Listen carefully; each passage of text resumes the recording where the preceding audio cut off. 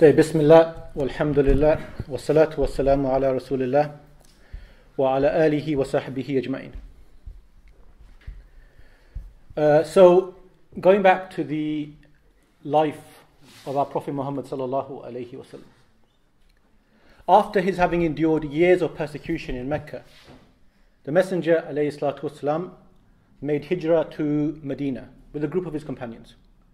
And he arrived in Medina in the year 622, September of the year 622, as a refugee granted sanctuary by the people of Medina, narrowly escaping death.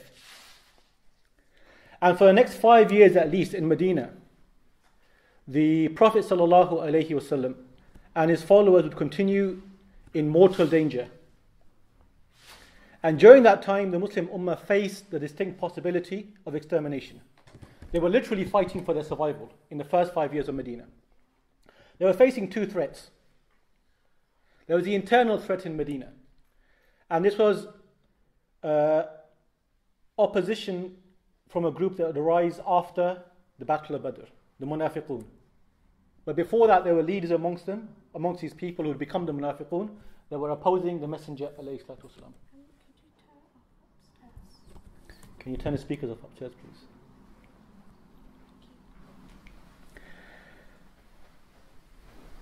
So the internal threat, the threat of the Munafiqun, and also of the Jew, Jewish tribes that were living in Medina and in the vicinity of Medina. And then the external threat was there as well. And in the first few years, that external threat was that of the Quraysh in Mecca. And those tribes sympathetic to the Quraysh in Saudi Arabia or in the Arabian Peninsula and around Medina. In Medina, for the first time, the Muslims have political freedom. They have their own political entity. And when we look to Islam.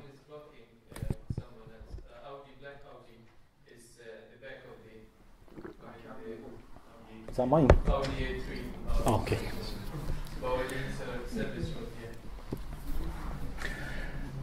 So after the hijrah, the Messenger of Allah sallallahu alayhi wasallam, he became effectively a spectacular success in both the mundane, worldly perspective and the religious perspective. He was a prophet of Allah sallallahu alayhi wasallam and a brilliant political and military leader. And he not only transformed the whole of Arabia, but he changed the history of the whole world as well. Sallallahu alayhi wasallam. Now, all of us living in a predominantly Christian world, which is dominated by the image of Christ supposedly dying on a cross. In their eyes, it's often scandalous, it's seen to be scandalous, that the Prophet ﷺ on occasion had to fight, had to engage in warfare in order to attain victory and peace. And therefore, when we look at the West, especially in the past, and how it looked upon Islam, they looked at it through this lens of Christianity and the so called sacrifice of Jesus. Islam. And they dubbed Islam as a religion of the sword, a faith which sanctifies violence and intolerance. Even though, if you look at Christianity, the very faith that's uh, accusing Islam of this was fighting its own holy wars in the Middle Ages. And of course, this is as far away from the truth as you can possibly get. This notion that Islam is spread by the sword. This notion that Islam is an intolerant, violent religion. In Christianity, you don't get a you get a separation between space, church and state. And Christianity sees political activity outside the sphere of religion. It's nothing to do with religion. But in Islam, it's exact opposite. For us, as we all know here, Islam is a complete way of life. It governs all aspects of our lives political, social, military, personal, religious. And Muslims do believe that we should undertake, where required, a dedicated struggle for a just and decent society, where the poor and the weak are not exploited. And most importantly, that Allah subhanahu wa ta'ala is worshipped freely. So when we talk about jihad, warfare in Islam, we need to look at it through this lens. And when we look at it through this lens as a means of justice, as a means of preventing exploitation, as a means of allowing the worship of Allah subhanahu wa ta'ala, then we'll understand the rules and regulations put in place uh, in Islam about jihad in a far more accurate way. And we'll understand in a far more accurate way how Islam governs political, moral, and spiritual affairs. Basically, Islamic theology, it teaches that at times it may be necessary for us to fight, physically fight, to defend ourselves, to defend our property, to defend our wealth, to preserve justice, to uphold decent values, to create a just society, and to ensure that Allah can be worshipped without being oppressed. In Islam, we are taught that when you get a Hitler type figure appearing in history, we can't turn the other cheek. We cannot turn the other cheek to such a person. So, as soon as the Muslims undertook the Hijrah, when we look at the history surrounding this event, the Hijrah, they understood that fighting was on the table. They knew they would be attacked. They knew that the Quraysh could not let this lie. The Muslims fleeing to Medina was a slap in their face. They were embarrassed that they could not contain this new religion. They felt humiliated at the fact that in the eyes of the Arabs around them, they were unable to defend their religion, their way of life, their gods. They took this as a personal affront to them. The Quraysh did. When the Messenger of Allah in Mecca took the second pledge of Aqaba with the Ansar, that pledge included the pledge to fight. And shortly after the Hijrah, we find the following verses revealed by Allah subhanahu wa ta'ala. أذن للذين يقاتلون يقاتلون بأنهم ظلموا. Those who are being attacked are permitted to take up arms because they have been wronged, they have been oppressed. وَإِنَّ اللَّهَ عَلَى نَصْرِهِمْ لَقَدِيرٌ Allah has power over them, to help them. الذين أخرجوا من ديارهم بغير حق إلا أن يقولوا ربنا الله Those who have been driven unjustly from their homes only for saying our Lord is Allah ولولا دفع الله الناس بعضهم ببعض لهدمت صوامع وبيع وصلوات ومساجد يذكر فيها اسم الله كثيرا And if Allah did not repel some people by means of others, many monasteries, churches, synagogues, and mosques where Allah's name is mentioned frequently would have been destroyed. وَلَيَنْصُرَنَّ اللَّهُ مَنْ يَنْصُرُهُ إِنَّ اللَّهَ لَقَوِيٌّ عَزِيزٌ Allah is sure to help those who help His cause. Allah is strong and mighty. In the beginning, fighting was a defensive action. It was uh, legislated to redress oppression and injustice. But always when you look at the laws of fighting, there were strict laws in place to ensure that the code of conduct on the battlefield was not violated. And we'll see some of these rules and regulations as we go through both the Battle of Uhud and the Battle of Badr, the Battle of Badr today, inshallah. Allah subhanahu wa ta'ala says, وَقَاتِلُوا فِي سَبِيلِ اللَّهِ Fight in Allah's way. الَّذِينَ يُقَاتِلُونَكُمْ Those who fight you. وَلَا تَعْتَدُوا But do not transgress the limits. Don't overstep the limits. Don't go too far. إِنَّ اللَّهَ لَا يُحِبُّ الْمُعْتَدِينَ Allah does not love those who overstep the limits, who go too far.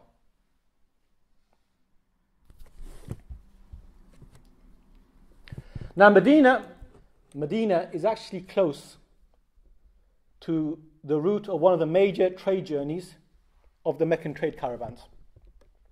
When they would go up towards Syria. And this trade journey was a major source of income for the Meccans. It supported them effectively. And Medina is actually well placed to attack, to raid the caravans that were going up from Mecca And it is therefore well placed to force the Meccan economy to grind to a halt. So the Messenger of Allah sallallahu alayhi wasallam he began sending raiding parties against the caravans that were traveling towards Syria. He, والسلام, himself, in these initial raiding parties, he didn't participate in them. He, he, lent, he put others in command, like Hamza or Ubaidullah ibn al Harith. So he sent small groups of Muslims to raid the Meccan caravans. Now, when the opponents of Islam, especially in recent times, when they read about these events, they attack our Prophet Muhammad. They say that this action of his, it just proves that he was a glorified highway robber. And it's interesting to know actually that in the early period of Islam and the early period after Islam, he wasn't actually criticized for this action. And the reason being is that in that society, it was perfectly normal at those times an accepted means of acquiring wealth to raid caravans. And quite often in these raids, no one is killed, or just one or two people are killed. The raids were never considered or treated or conducted as if they were wars. The raid and the war are two separate things. So, in the eyes of the Arabs, there's a raid, you go and attack a caravan, you might kill somebody, you take prisoners, you take their wealth, and then you follow a set pattern ransom prisoners, swap prisoners, etc. It's a set pattern that, that follows. It's not regarded to be a war, an act of war. It was part and parcel of that society. But in the raids of the Messenger, والسلام, there's also a higher purpose. They know that the Quraysh are not going to sit idle. They know that the Quraysh will attack them. So they want to force the Quraysh to come to terms with them. They want to force the Quraysh to sit around the negotiating table with them. How do you do this? You attack the economy. You attack them where it hurts. And you force them to come and talk to you. It was also to show that the Bedouin tribes around Medina, who were sympathizing with Quraysh, these raids showed them that the Muslims were not weak. They could defend themselves. They were strong. And it would force them to re-evaluate their relationship with the Muslims. And in fact, it did. In the first two years leading up to the Battle of Badr, many of the tribes around Medina actually went into peace treaty with the Messenger of Allah. And also, these maneuvers allow the Muslims to learn a great deal about the surrounding territory, to learn about the strengths and the weaknesses of their enemies, about the people who are around that particular territory at that time. So, there was a strategic reason for these raids as well.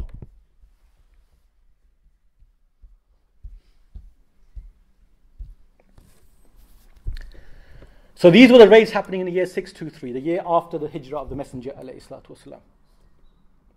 In the next year, 624, which is now the second year of hijrah, in Jumada al-Ula,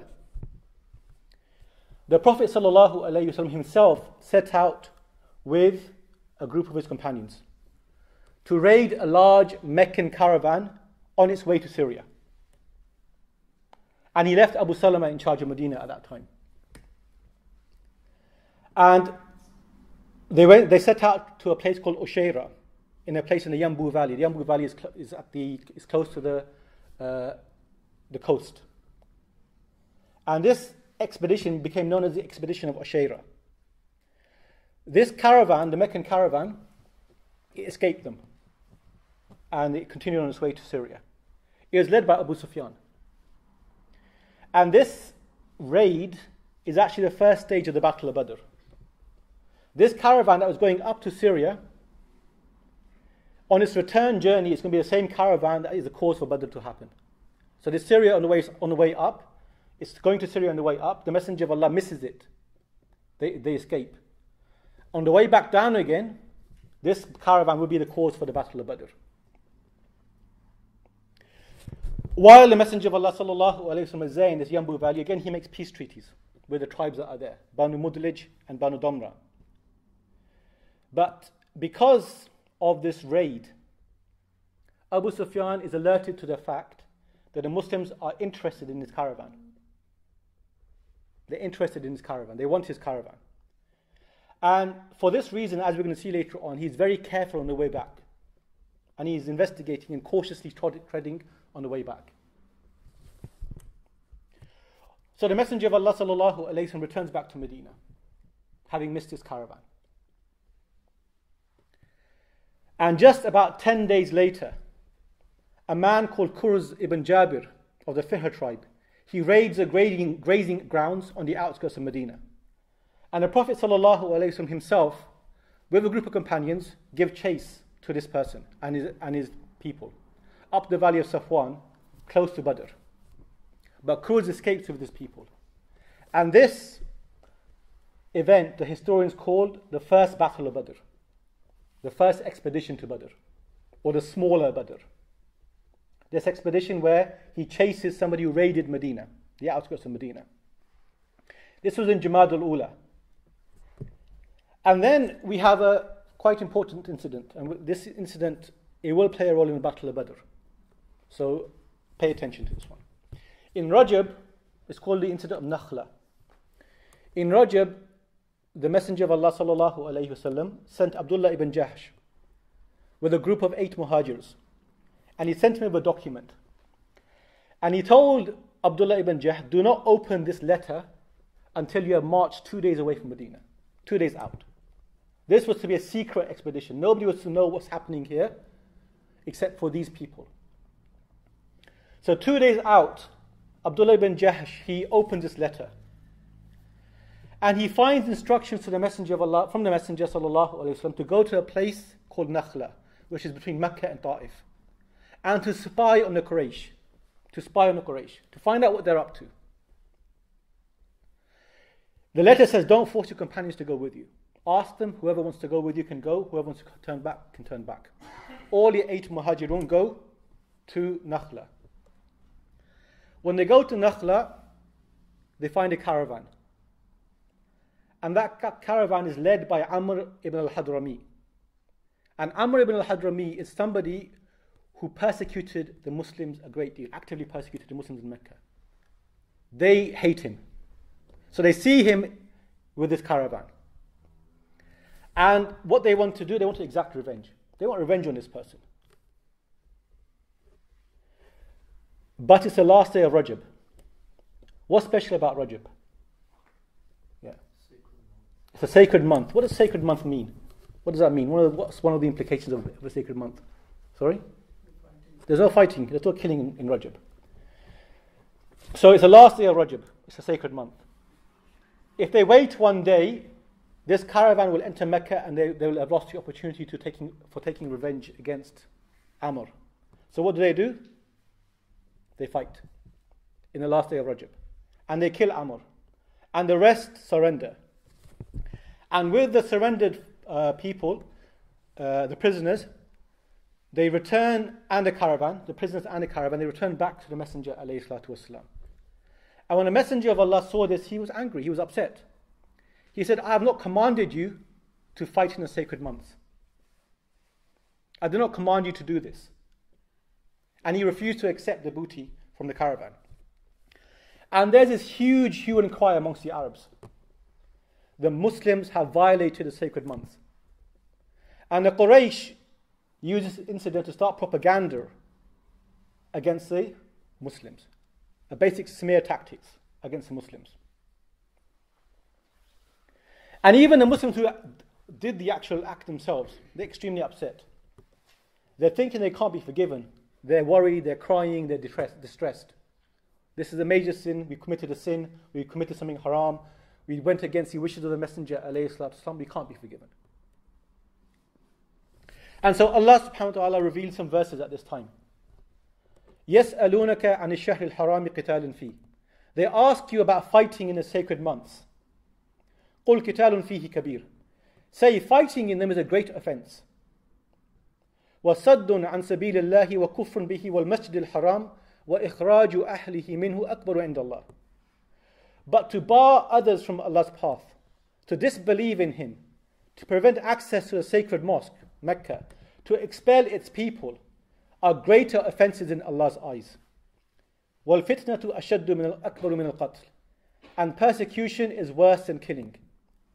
ولا يزالون يقاتلونكم حتى يردون حتى يردوكم and dinikum in istata'u. And they will never stop fighting you until you revoke your faith, if they can do so. so this ayah is telling us that this was a wrong action, but it was a mistake on the part of these people. But you, Quraysh, you are the ultimate violators. You have infringed the sanctity of the house. You've oppressed, you've tortured, you've driven people away from worshipping Him alone, subhanahu wa ta'ala. You transgressed against all that's sacred. Theirs was a mistake, but your action is deliberate. And you keep on doing it, and you're still doing it up to this very day.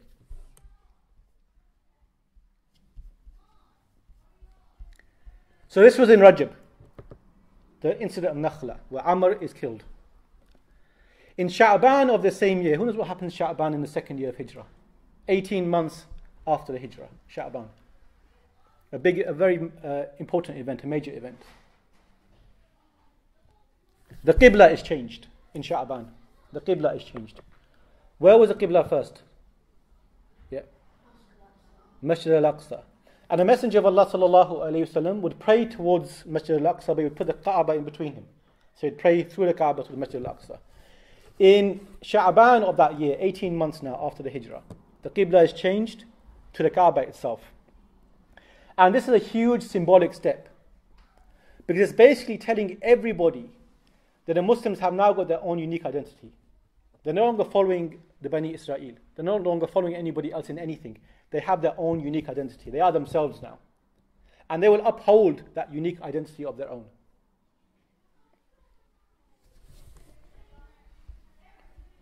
So Rajab Sha'ban, now we're moving, we're moving into Ramadan of the second year of Hijrah. And we're coming now to the time when the same caravan of Abu Sufyan is due back. After having traded, after having sold everything, this caravan is due back. So the Prophet Muhammad starts sending out spies to find out about this caravan. And he sends out more than one set of spies. So for example, he set out he sent out Talha ibn Ubaidullah and Sa'id ibn Zayd, two great companions. He sent them out to scout and spy to find out is this caravan coming? And they saw it. They saw this caravan, they followed it, they let it pass them, and then they galloped back to the Messenger of Allah and told him in private, in secret, that a caravan has come back. It's led by Abu Sufyan. It consists of 1,000 camels. And in the history of Quraysh, in the recent history of Quraysh, this is, this is unprecedented. A caravan of this size is unprecedented 1,000 camels. And it's only guarded by 30 to 40 people. It's only guarded, this is easy prey. Now, to the, to, the, to the Muslim, this is an easy prey. Only 30 to 40 people are guarding this huge caravan. And the estimated worth of the goods in this caravan, 50,000 dinars. This is a fortune in those days. Today's, in today's uh, currency, amounts to millions of pounds, the equivalent. So this is a fortune.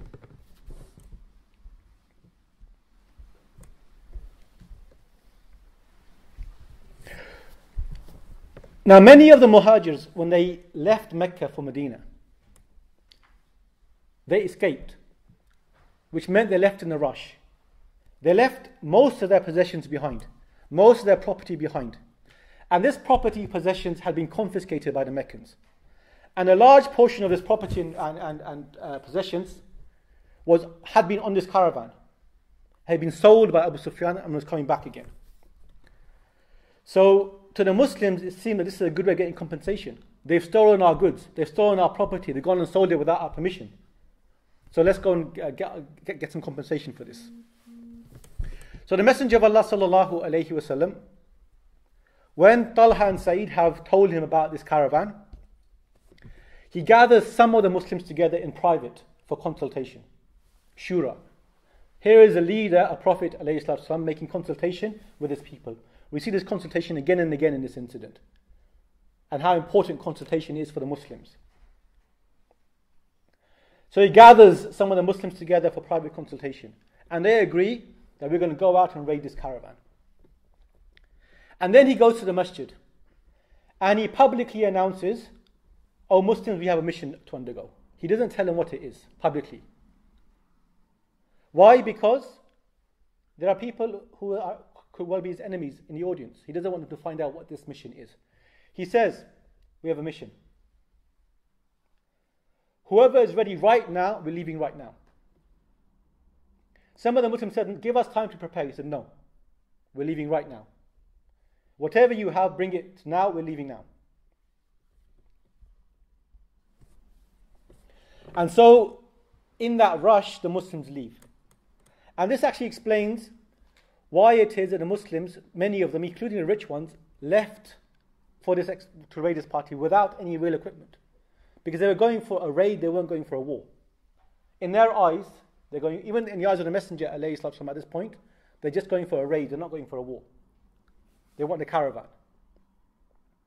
So they rush out as they are for this uh, to go and raid this particular uh, caravan. But as we know, Allah subhanahu wa ta'ala had willed something else about for this particular event.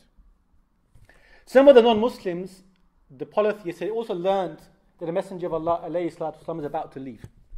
And they're guessing that if he's leaving in this rush, there must be a raid. And they're guessing that it must be something quite important for them to be rushing out like this as well. So they come to the messenger and say, We want to join you. We want to join you on this raid, or on this, this mission you're going out for. But the messenger of Allah refused to accept any non Muslims in his ranks. He said this was, he would not accept a non Muslim in his ranks for this particular mission. This was between the Muslims and the objective, the object of the raid, of, of, the, uh, of the mission.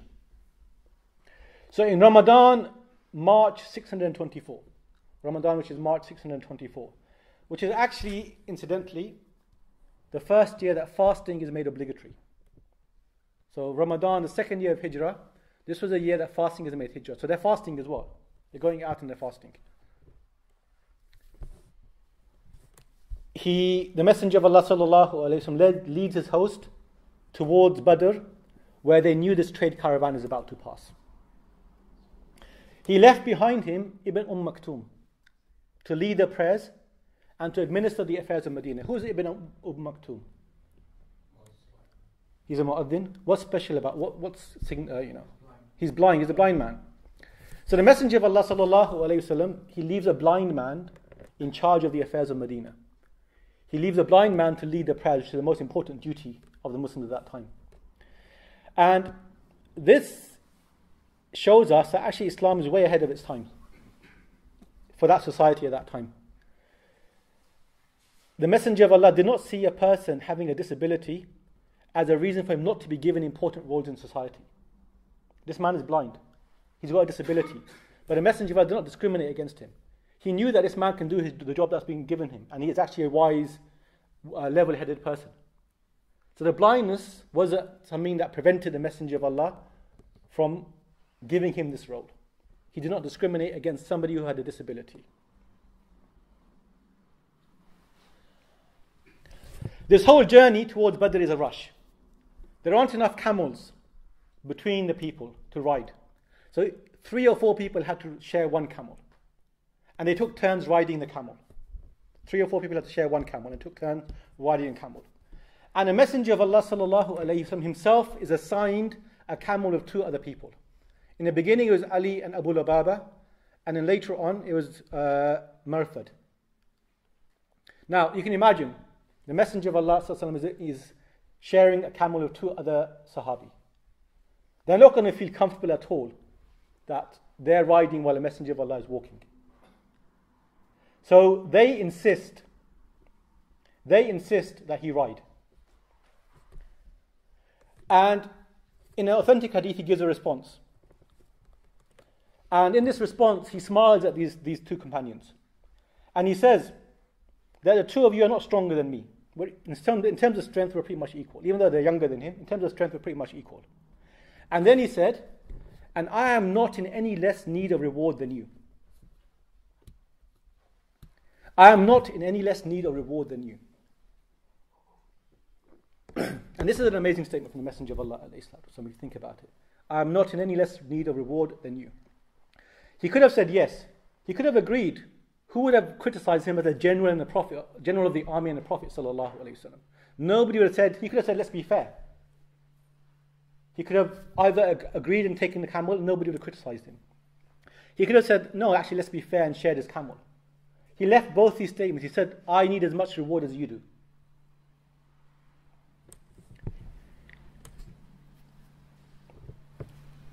So now, when you see the Messenger of Allah wasallam saying statements like this, and walking with the army. Who is there amongst the rest of the army that can possibly complain? Nobody's going to complain. In fact, they're going to increase their love of the Messenger. So when you have a leader like this, leading by example, putting his, uh, uh, translating his words to actions, practicing what he preaches. You're going to love that such a person. You're going to follow such a person. Now, Abu Lubaba is actually sent back later on by the Messenger والسلام, to help administer the affairs in Medina. And then this camel is shared between Ali and Marthad and the Messenger. During this journey, when they're heading towards Badr, he assigned an advance group under the command of Zubair ibn Awam and a rear group led by Qais ibn Abi Sa'sa'a. And they were marching in open, loose formation to get there as quickly as possible. And he sent two men ahead as scouts, just to make sure that the path ahead is clear. And on the first night when they encamped, this is when the Messenger of Allah now makes an assessment of the army. So they've left in a rush. They're moving at a rush. They're moving at a very fast pace. And when they camp, now the Messenger of Allah sallallahu makes an assessment of the army. And the final count of the people in the army are 313 or 315. Basically, as some narrations say, 310 and a bit. 310 and a bit.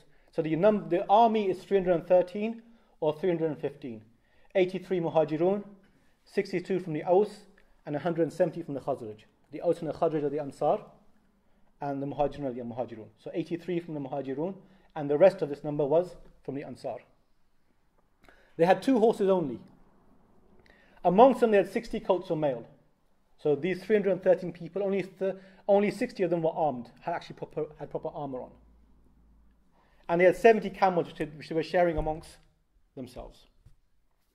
And while the Messenger of Allah sallallahu is making an assessment of his army, he realizes there are two people underage there, under the age of 14, under the age of puberty. Al-Bara ibn Azib and Ibn Umar, two famous companions who would be later on become very famous companions. So Al-Bara ibn Azib and Ibn Umar radiallahu anhu. And he asks him to return. He says, you're too young. So he sends him back to Medina.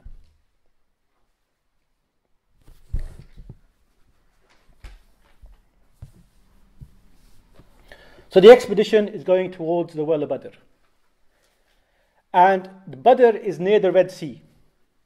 And at Badr, every year, there's a great Arab fair being held at that time.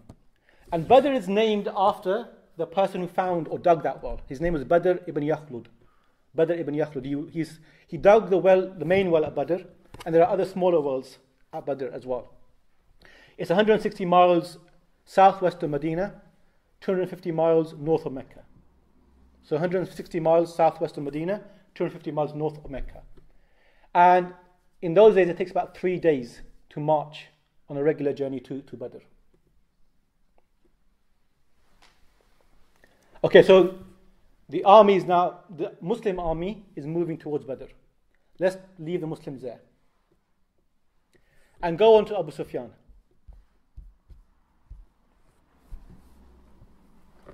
Now Abu Sufyan is coming, obviously coming, returning with his caravan.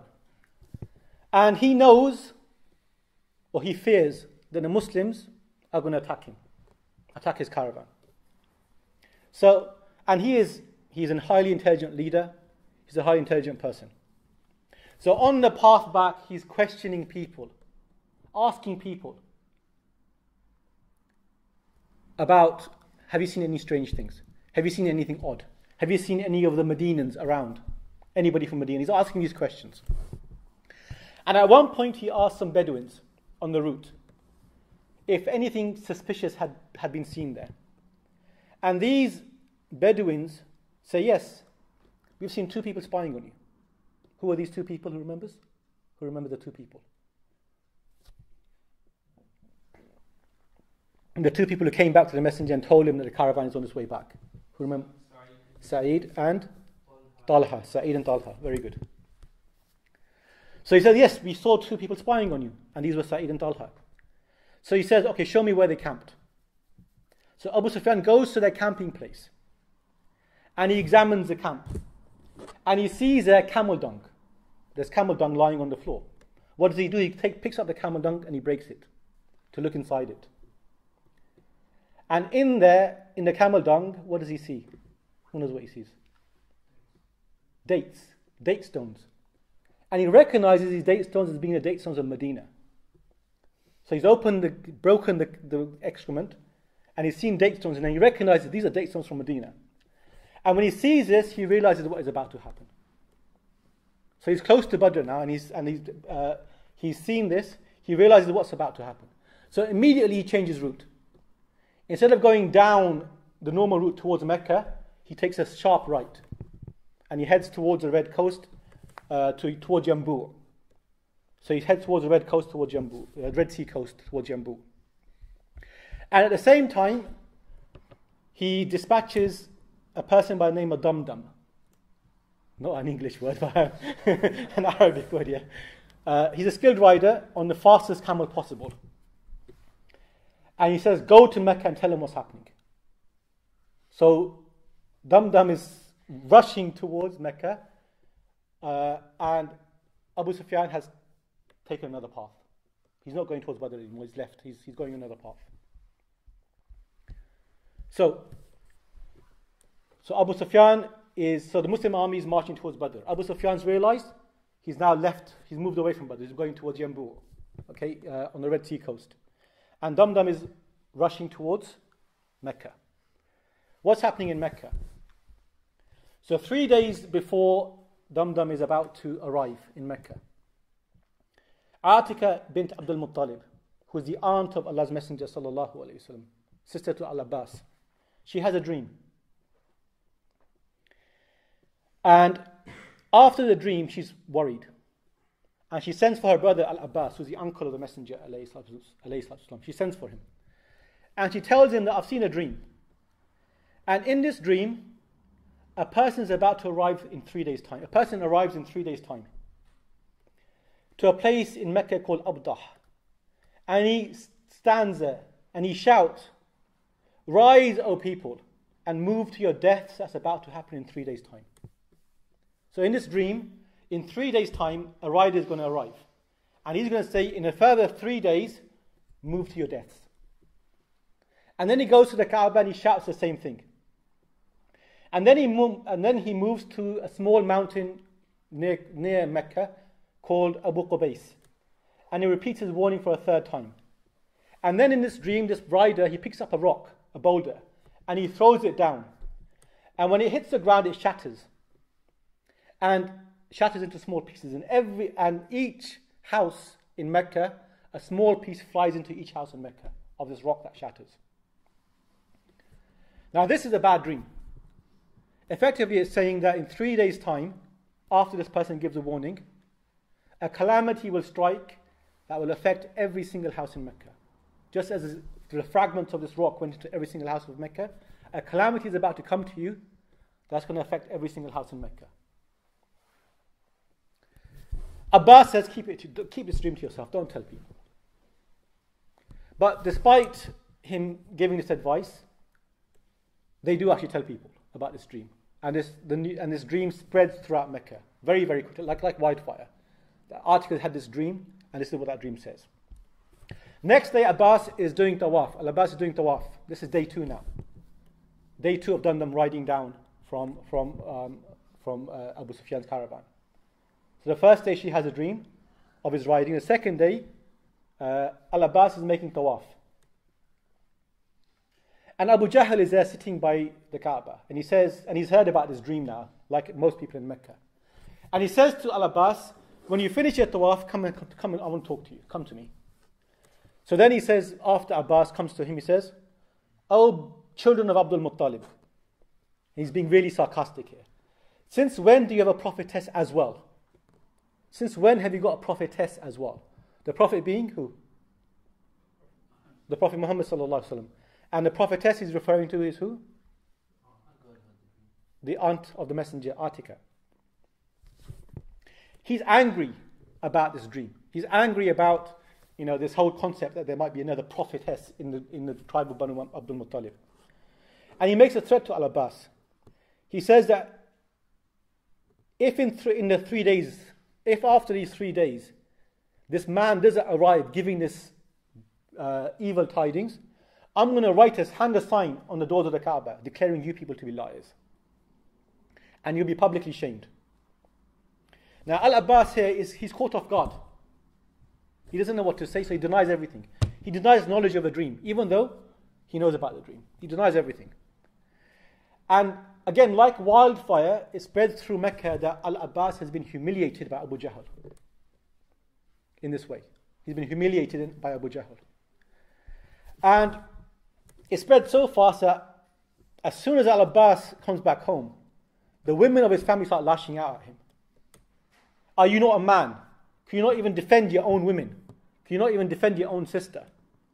And that whole day, women keep coming up to him, accusing him, lashing out at him. Why couldn't you defend your own sister? What sort of man do you think you are?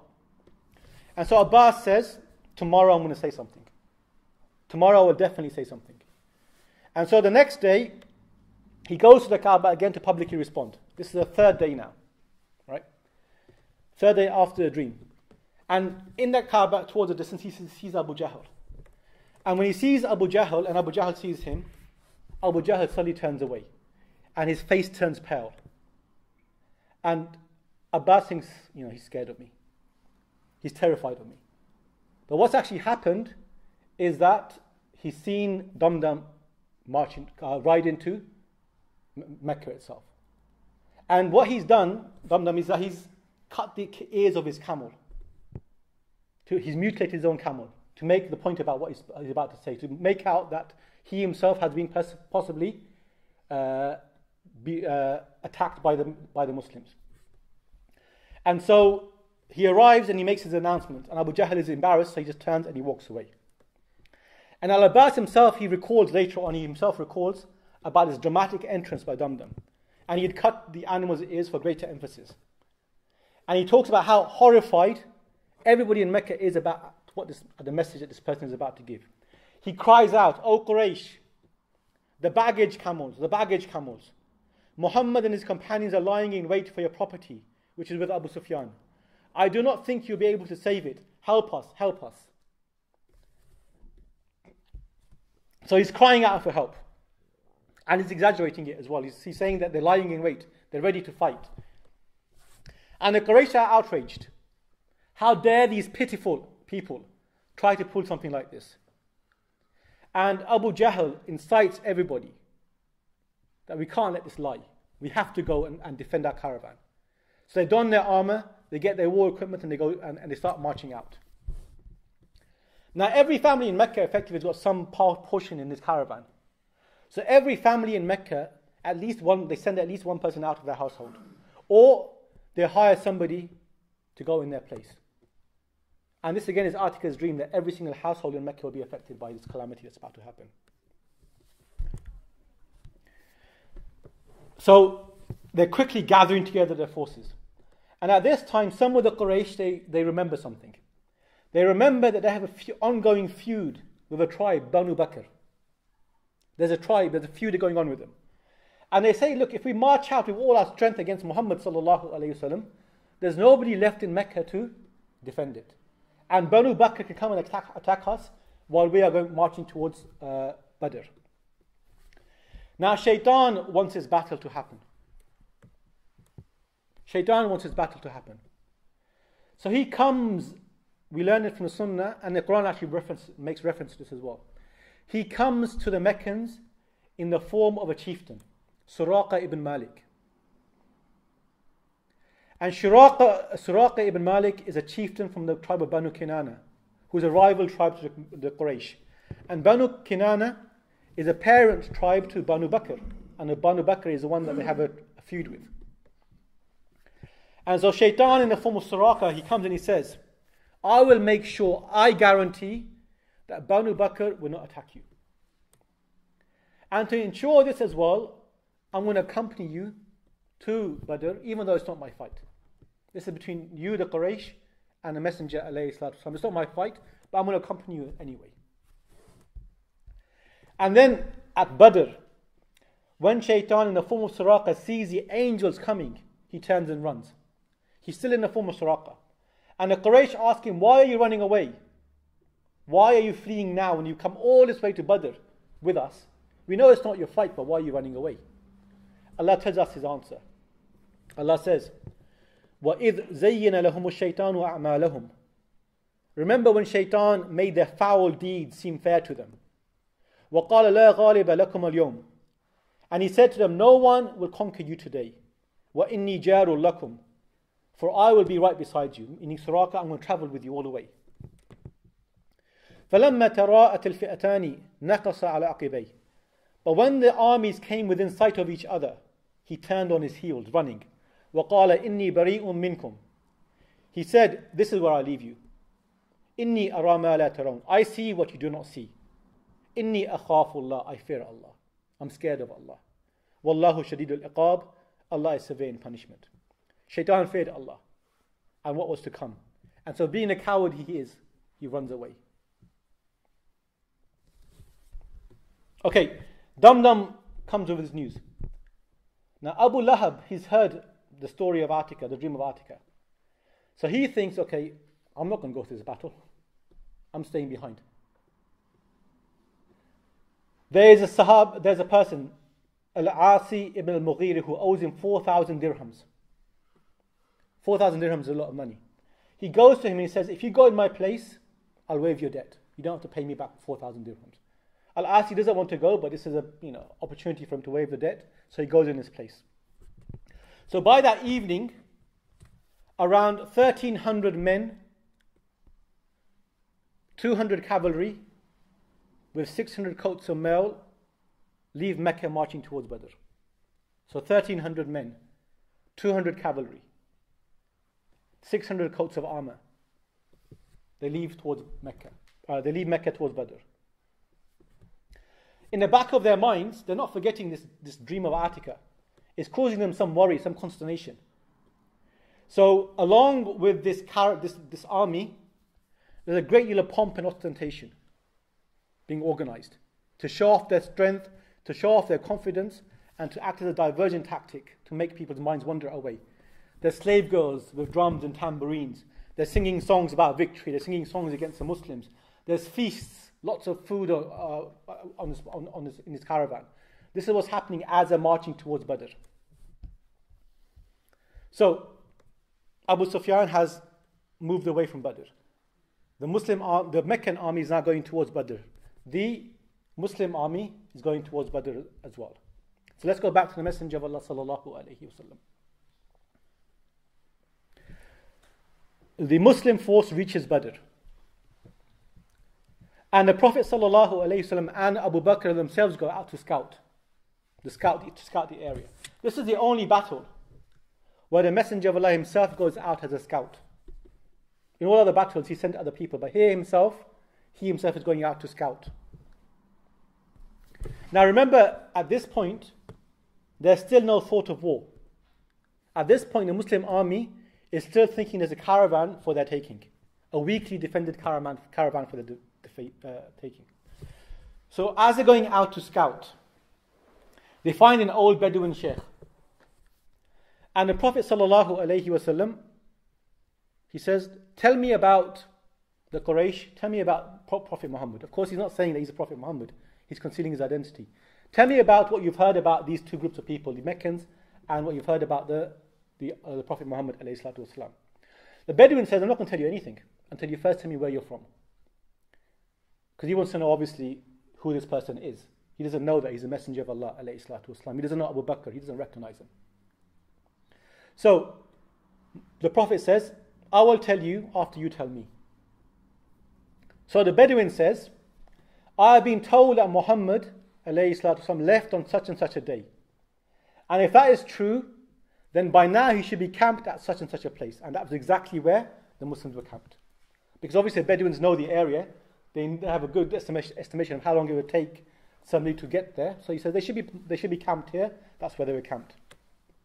And then he says, and an army from Mecca has set out at this and this, this and this time. And by now they should be at this and this place. This is the first time the Muslims have heard that there's an army from Mecca coming. And it's just uh, Muhammad and Abu Bakr radiallahu This is the first time they've heard that there's an army coming now. The Messenger of Allah sallallahu is concerned now. He's worried. This is no longer a simple caravan raid. This is an army coming from Mecca. So he goes back to his camp And what's the first thing he does? What is, it, what is the first thing he does? Praise. He makes salah. Salah. Whenever something concerns the Messenger of Allah, alayhi he resorts to prayer. He makes salah. And while he's praying, there's a commotion around him. Because some of the other scouts, uh, some of the other Muslims have captured two boys, water bearers. And these two boys, are asked, the Muslims are asking the question, Where are you from? And they say, We are from the army of the Quraysh. Now, again, the Muslims, this is a, now, Messenger of Allah Abu Bakr, Abu Bakr have not yet told the Muslims that there's an army coming. This is the first time the Muslims are hearing that there's an army coming. They say you're lying. And they start beating these two boys. You really mean the caravan of Abu Sufyan, don't you? You don't mean a, an army from Quraysh. And after the beating, they say, Yes, yes, of course we meant, we meant the caravan of Abu Sufyan. And then after a bit, they say, No, we're coming from the, we're coming from the army of the Quraysh, not the caravan of Abu Sufyan. Again, they're beaten. And then they say, No, no, we're coming from Abu Sufyan's caravan. And the Messenger of Allah at this point has now finished the prayer. It's a long prayer, obviously, the beating and, and the, all this is happening around him. And he says, This is a surprising affair. You beat him when he's telling the truth, and you stop beating him when he lies to you. Or you beat them when they tell you the truth, and you stop beating them when they lie to you. And actually, this is a very important statement from Messenger. He's effectively telling us that torture doesn't work. And this is one of the rules of Islamic warfare. Torture doesn't work. No matter how strong you are, no matter how trained you are, you could be James Bond or Jack Bauer or whatever, yeah. When you're tortured, you will break. And after you've been tortured, you will say whatever the, the, person is torturing you wants to hear. Torture doesn't work. And here the Messenger of Allah is saying this. When he's, when he's saying the truth, you beat him. And when he's lying to you, you stop beating him.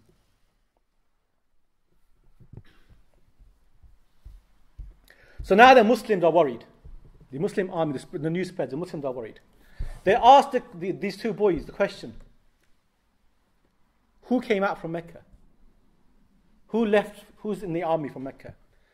And then the, the boys tell the names of the people left from Mecca, the best, the leaders, of, and, and they find out that not just any old people, the leaders have left. All the leaders have left. Which means that they come with protection, they've come with wealth, they come with well armed. And so now the Muslims are getting really worried. And the Messenger of Allah sallallahu wasallam, he smiles at this point. And he says that Mecca has thrown to you the pieces of her liver.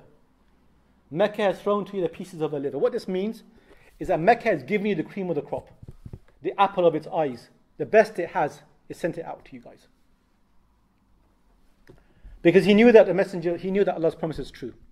Then he asked these two people, how many people are in this army? They say, look, we're just, we're just boys. We're slaves. We have no idea about numbers. So he asks them the question okay, tell us something. If you don't know about that, tell us about something you can relate to. How many cattle are slaughtered each day? And they said between 9 and 10 animals per day. And so the Messenger of Allah sallallahu inferred from this that the number is around 1,000 people. It's around 1,000 people. Okay, so now the Muslims have realized that an army is on its way. So the Messenger of Allah again called for consultation, a council of war. And again, Shura, he asked the Muslims, What do you think needs to be done? And the initial response by some of them is, We're not ready for war. We can't do this.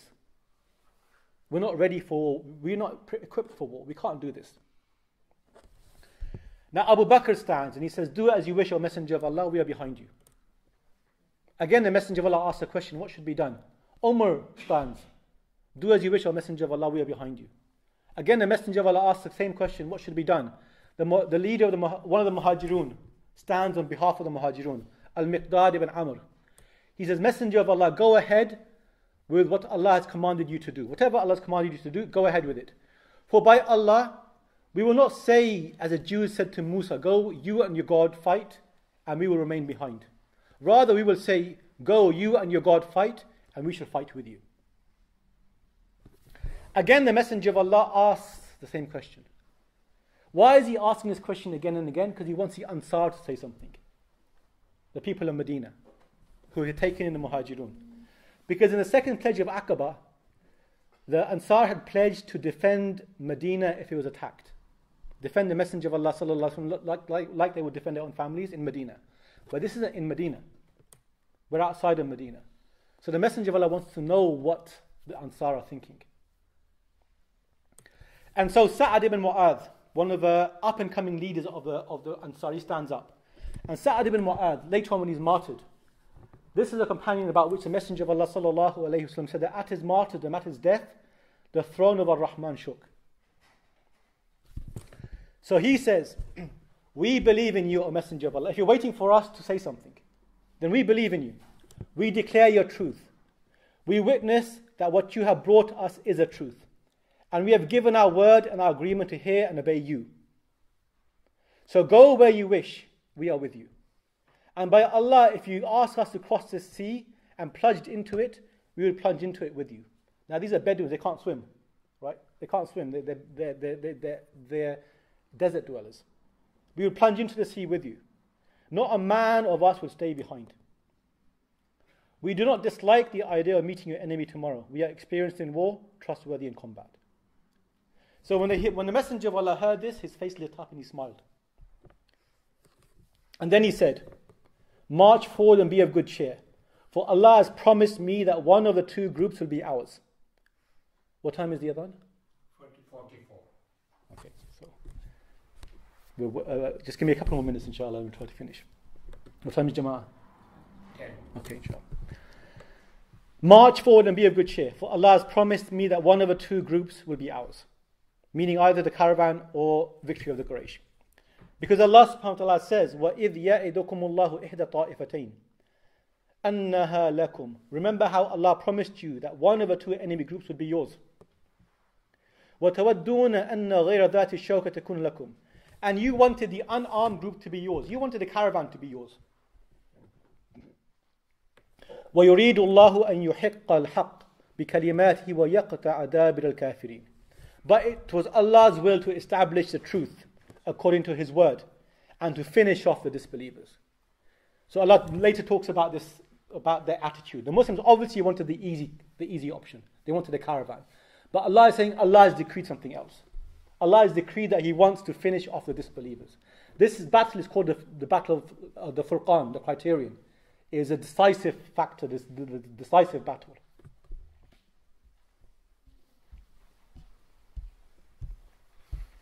So they were ready for war. Now the, the Muslim forces had stopped at the first well of Badr. And one of the companions, Al Hubab ibn al Mundhir, when he saw this, where they had stopped, he asked the Messenger of Allah, sallallahu he said, Have we stopped here because Allah has commanded us to stop here? Or is it your strategic opinion? Because if Allah has commanded us, we're not going to move one inch. This is where we're going to stay. And the Messenger of Allah said, It's for my own strategic, reasons. And so Al Hubab says that no, you should move further down till you get to the well nearest the other side of the valley where, they, where the Meccans would be coming from. And block all the wells and we'll keep one basin of water for ourselves.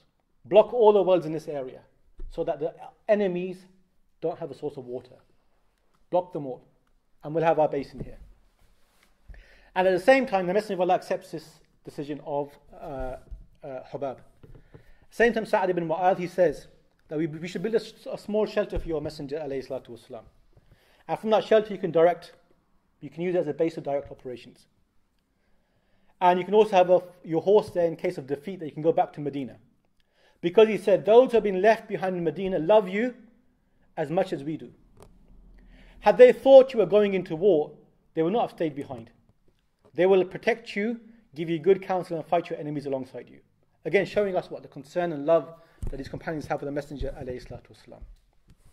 And at this point, the Messenger of Allah, وسلم, he starts placing his hands on various places of Badr.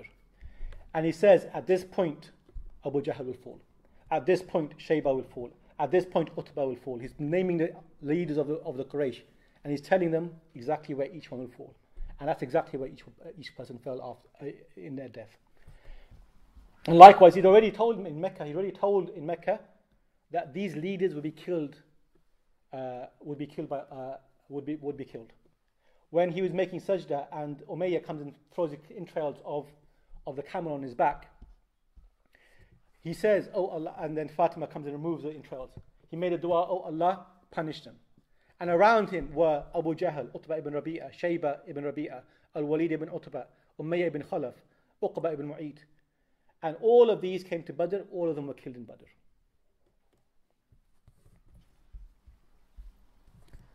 In the meantime, Abu Jahl, he's now realized that they're safe. So he sends a message back to the Meccans, the Meccan army. He says, We're safe. We don't need to fight anymore. The, you don't need to come to defend the caravan anymore. Go back. And the reason why he's saying this, one of the reasons why he's saying this, again, he's an astute leader, is that he realizes that Abu Jahl, who's been inciting this army, if he goes ahead with the war, he's going to gain the upper hand in Mecca. He's going to gain political clout and power and authority. He doesn't want this to happen. So he's saying, turn around, go back. The, the caravan's safe. We've, we've, we've fled. And Abu Jahl, when he receives this message, he says, he sees an opportunity to kill a faith he despises. He sees the opportunity for gaining political clout and authority. He says, By Allah, we will not turn back until we have been to Badr. We will spend three days there, slaughter camels, feast and drink wine, and the girls shall play for us. And the Arabs will hear about this and they respect us in the future. So, here, again, if you look at the words he's saying, not even the Quraysh at this point are believing they're going into war.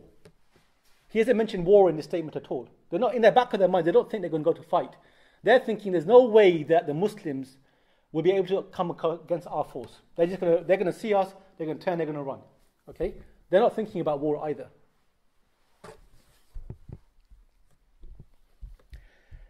When they received this, some of this message, uh, this message, some of the Quraysh actually turned back. Zuhra and Adi turned back.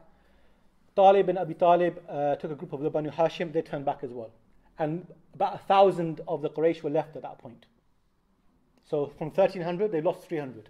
A thousand are left to go on. Now the Quraysh camp on the far side of Badr. So the, the valley, there's a valley. On one side where the wells are, the Muslims are. On the other side, behind a big hill, the Quraysh camp.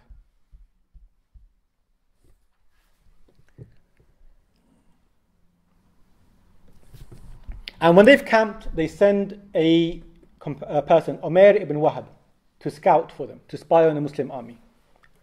So he goes out and he observes the Muslim army. And he is frightened by what he sees. He's scared by what he sees. Okay? Why is he scared? He goes back. And he says, I've seen a group of people with determination on their faces. They're, they, are, they are people who are not well armed. They're people not well equipped. They are people who are desperate. And when people are, who are, de- are in this state of desperation, they will fight to the death. I have seen an army that will fight to its death. And I know, at the very least in my estimation, that for each person we kill of theirs, they'll kill one of ours. There's approximately 300 of theirs. We will lose 300 people. This is his estimation. We're going to lose 300 people of our people. And he goes, if we lose such a large number, these losses are too much for us to bear. So my advice, turn back. The Arabs don't, don't take unnecessary risks in war. They try to avoid large casualties. Because when you live in a tribal society, always raiding each other, the one most important thing you need is men strong men. So they will try to avoid losing strong men. Okay, so he's seeing this, he's saying we're going to lose, our casualty rate is going to be too high. These men are desperate, they're going to fight to the death.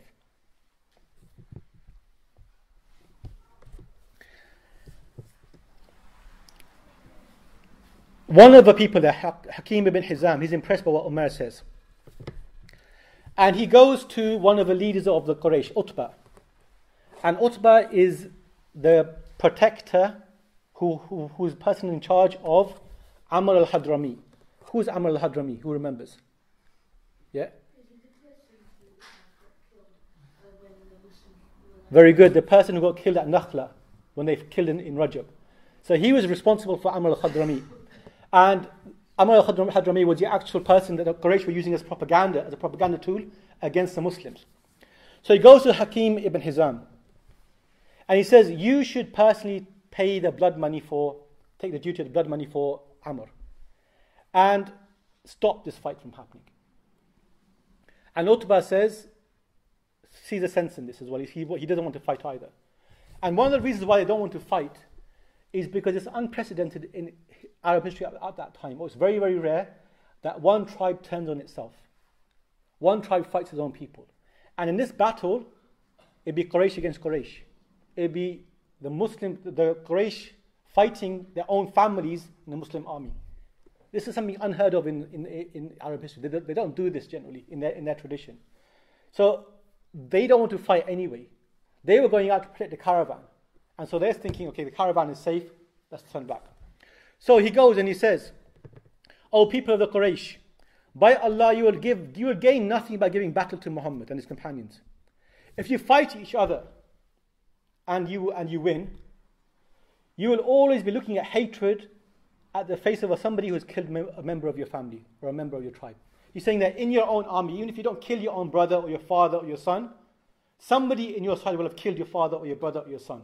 And you will always be looking at him as a person who killed your father, as a person who killed your son, as a person who killed your brother, a person who killed your nephew. And that will, that will just breed hatred amongst yourselves. So that's all you're going to get out of this battle. And then he says, Leave Muhammad والسلام, to the rest of the Arabs. If they overcome him, you'll have lost nothing. But if he wins, then his izzah is your izzah, his honor is your honor. You, he is part of your tribe, and his honor will be, you, you, you'll just gain from this. It's a win win situation for you. Leave, let the Arab, other Arabs deal with him. But Abu Jahl is beyond reason. And he calls Utbah a coward. He says, You're a coward. Your son's in the other army, your son was in the other army, the Muslim army. You're a coward, you're scared. And no Arab can hear the charge of cowardice. Okay, Hizam, Hakim ibn Hizam, again, you're a coward. Your brother or your son is in the other army. He called them all cowards. So now, because he's called them cowards, they're going to have to fight.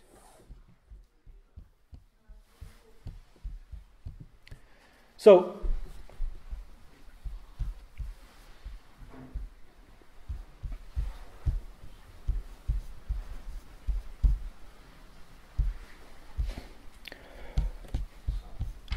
During the night, the Meccan army moves out from the hill and moves towards the plains. And on Fajr, after Fajr of on the 17th of Ramadan, which is a Friday as well, the two armies finally see each other. So the dawn rises, the Muslim army sees the Qurayshi army, the Qurayshi army sees for the first time the Muslim army. And there is 1,000 men in the Qurayshi army, 200 cavalry, 600 coats of mail in that army. The Muslim army, 313, is a third the number of the, of the, of the non-Muslims. Two horses only, 60 coats of mail. This is all they have. So we have what, this small army, ill-equipped, facing this massive army, well-equipped. And inshallah, we'll stop there for today, and we'll continue uh, next time, inshallah, about the actual battle itself. Subhanallah wa bihamdika, shadun la ilaha illa ant, astaghfiruka wa atubu ilayk.